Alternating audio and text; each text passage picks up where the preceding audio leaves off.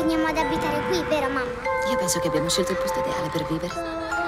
Sembra un'infiltrazione. Quell'acqua nasconde un terribile segreto. Spaventoso. Smettila! Smettila! Con chi stai parlando? Con nessuno. Sta dicendo che Sassi ha un amico immaginario. Suo marito sostiene che lei soffre di paranoia con allucinazioni. Dark Water.